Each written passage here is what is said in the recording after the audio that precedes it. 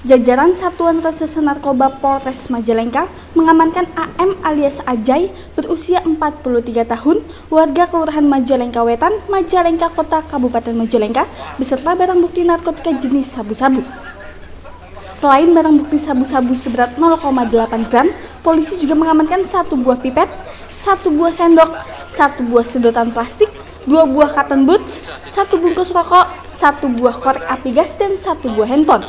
Pelaku dibekuk di perempatan lampu merah Abok, Kelurahan Majalengka Wetan pada Sabtu 20 Agustus yang lalu. Kepada polisi, tersangka mengaku mendapatkan barang haram tersebut didapat dari seorang berinisial D seharga 550 ribu. Tak hanya pengguna narkoba yang berhasil dibekuk, petugas juga berhasil meringkus pengedar obat-obatan farmasi berbagai jenis. Dari tangan tersangka, polisi mengamankan jenis trihexypedil sebanyak 145 butir, tramadol 83 butir, dan dextrometorphan sebanyak 80 butir. Semua barang bukti didapatkan dari tersangka berinisial R, warga Kecamatan Sumberjaya, Kabupaten Majalengka yang telah dibekuk di rumahnya.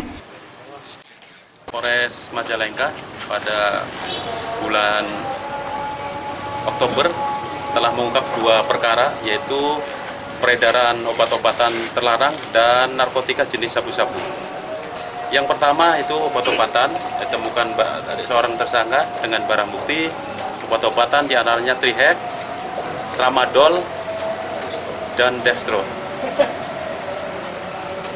Ini tersangka ini pengedar atau? Tersangka ini pengedar karena dalam Undang-Undang Kesehatan eh, masuk dalam nomor 36 tahun 2009 barang siapa mengedarkan tanpa izin edar akan dikenakan eh, dimaksud pasal 196 Yutos 98 Undang-Undang Kesehatan dengan ancaman maksimal 10 tahun.